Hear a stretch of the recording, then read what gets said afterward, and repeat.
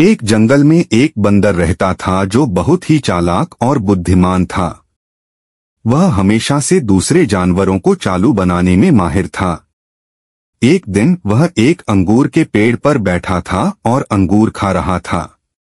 उसके पास एक पेड़ की डाली पर एक गीदड़ भी बैठा था। बंदर ने गीदड़ को देखा और सोचा, मैं इस गीदड़ को कैसे चालू करूँ? फिर उसने एक चालाकी से योजना बनाई। बंदर ने अंगूर की एक गूची ली और उसे गीदड़ के सामने फेंका। बंदर ने गीदड़ से कहा, देखो, यह अंगूर बहुत ही स्वादिष्ट है। तुम इसे खाना चाहोगे? गीदड़ ने बंदर की बात मान ली और उस अंगूर को खाने लगा।